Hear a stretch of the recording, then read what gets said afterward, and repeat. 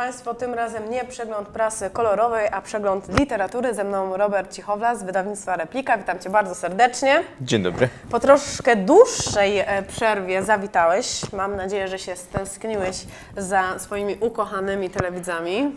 Bardzo się stęskniłem. Rzeczywiście trochę czasu minęło. No, Tak, dwa miesiące. stęskniłeś się i jesteś. I bardzo dobrze jesteś z dwoma nowymi propozycjami. E, Wspaniałymi propozycjami, które zmrożą krew w żyłach. Ach, czyli będzie goroza jak zwykle, kiedy Robert pojawia się w studio. No, będą mocne książki. A Graham Masterton. Pierwsza to właśnie pozycja Grahama Mastertona. Najnowsza pozycja repliki, e, Trans Śmierci. E, Rzecz, która jest rasowym horrorem, e, napisana w 1986 roku, a więc w tym czasie, kiedy Masterton tworzył te najbardziej rasowe horrory, książki, które e, doceniają czytelnicy po dziś dzień i które właśnie charakteryzują się takim mocnym, fajnym stylem, klimatem i świetnie wykreowanymi bohaterami. Taki też jest Trans Śmierci, gdzie głównym bohaterem jest Randolph Clare, facet, który ma gigantyczną korporację, gigantyczne przedsiębiorstwo i w, i jest ogólnie rzecz biorąc no, milionerem zarobionym po pachy i w pewnym momencie sobie wyrusza z żoną i z dziećmi na wakacje.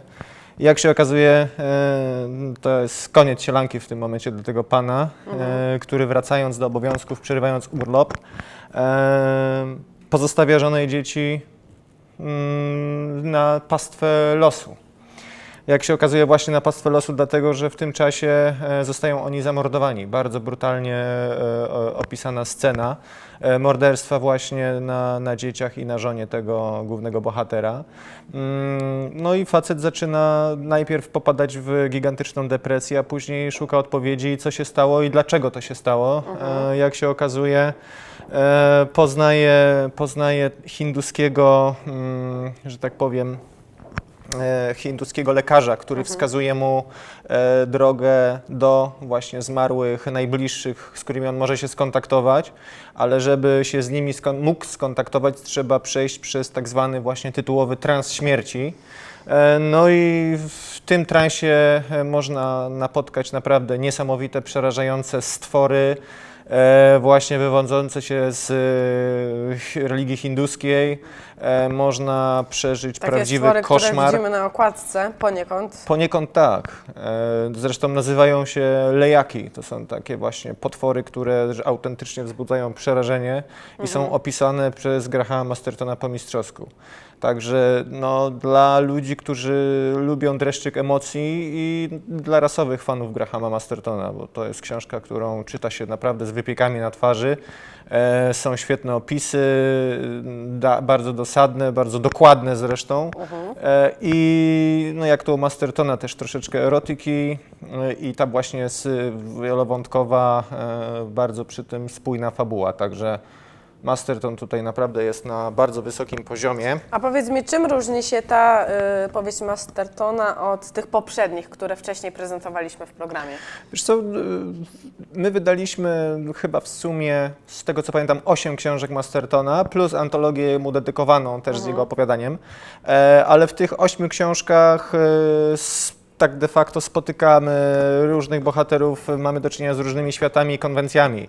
E, Nieraz jest to groza psychologiczna, z której de facto Masterton też słynie i tu wydaliśmy Traumę i Niemy Strach. To są takie bardzo nastawione na psychologię, na grozę psychologiczną rzeczy.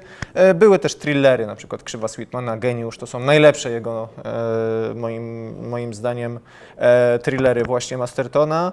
No i były też rasowe horrory, takie jak na przykład Kandydat z piekła. I to jest właśnie ten trans śmierci, coś właśnie pokroju Kandydata z piekła, oczywiście nie pod względem tematyki, ale pod względem właśnie takiej e, i stylistyki i trochę, i trochę konwencji, bo tutaj mamy właśnie taki dosadny, mocny, rasowy, rasowy horror e, w stylu lat 80.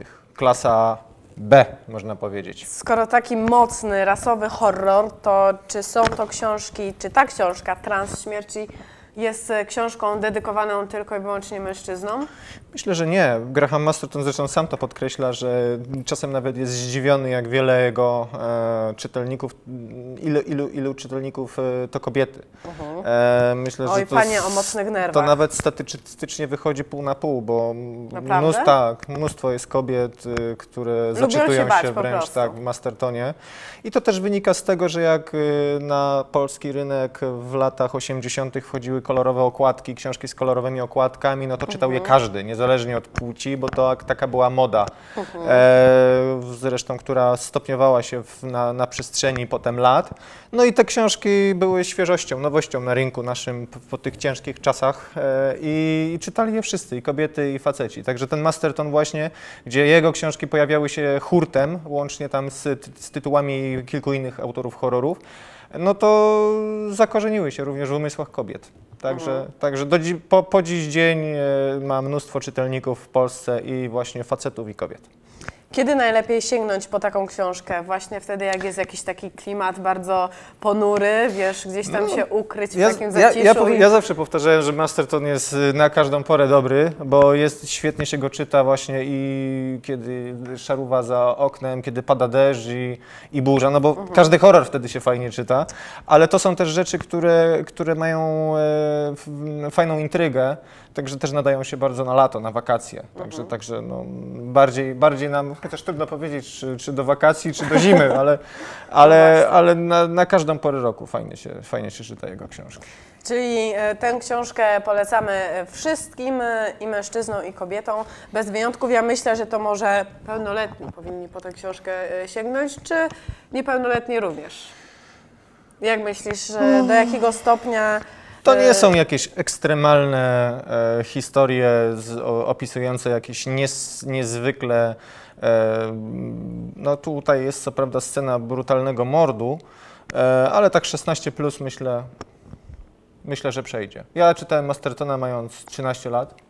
E, Z wypiekami zresztą na twarzy też bardzo, bardzo mi się jego książki podobały. Czyli i- dlatego ten sentyment do i- dzisiaj no, pozostał. oczywiście, że tak. No. Jestem wytrawnym fanem Mastertona od ponad 15 lat i zaczytuję się w jego książkach. Zresztą Transśmierci czytałem chyba ze dwa razy. To tak czuję, że twój syn e, też będzie jego wielkim fanem. Tak, zdecydowanie. Jak trochę dorośnie. Jak podrośnie i będzie potrafił już sam czytać. Graham Masterton na pewno znajdzie się w naszej bibliotece ONTV. Serdecznie zapraszamy do tego, żebyście brali udział w naszych e, konkursach. Już teraz zapraszamy na krótką przerwę muzyczną, a za chwilę przejdziemy do kolejnej ciekawej e, literatury. Cóż to takiego?